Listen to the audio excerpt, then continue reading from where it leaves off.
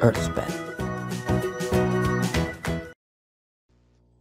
Why astronauts struggle to walk in Earth after landing from space.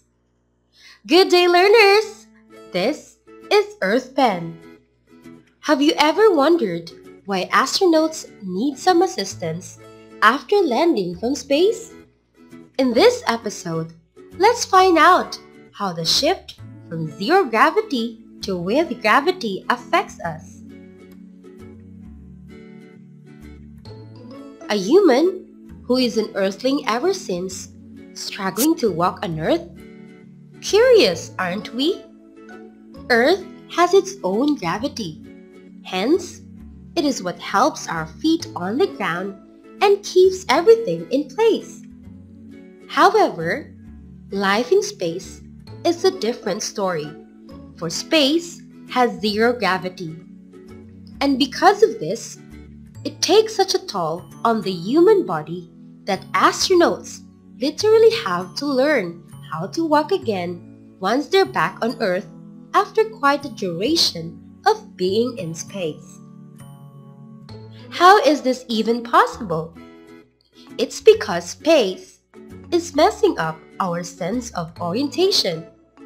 Being on Earth, we all are aware of our directions. But on space, not so much. Sensors that are part of our vestibular system that controls our balance and is located in our ears are thrown off when in space. This causes astronauts to feel dizzy in the first few days of having zero gravity.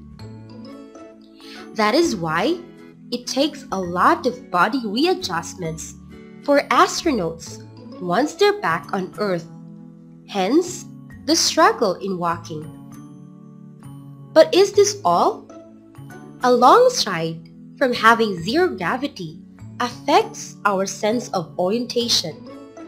Long periods on space also affects the human body itself.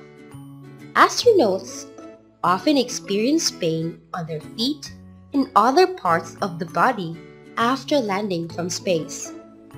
Why is this?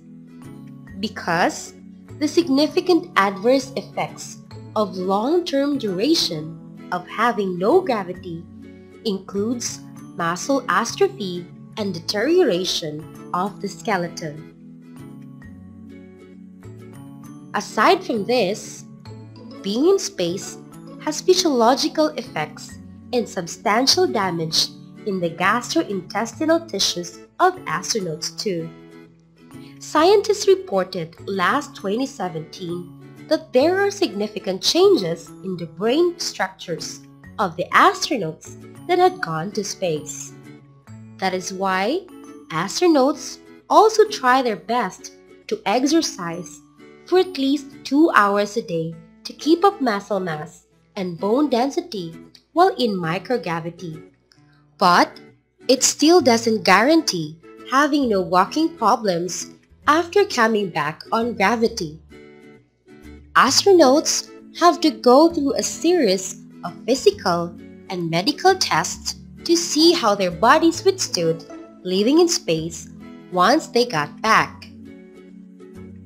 To sum it up, having a microgravity environment for a long time greatly affects our bodies not just physically. This triggers to having lots of research projects regarding on how humans can survive in space for extended and indefinite periods of time. The core challenge in overcoming this is to understand the effects and impact of long-term space travel on the human body. And that is all for now. I hope you learned something from us today. Once again, this is Earth Pen.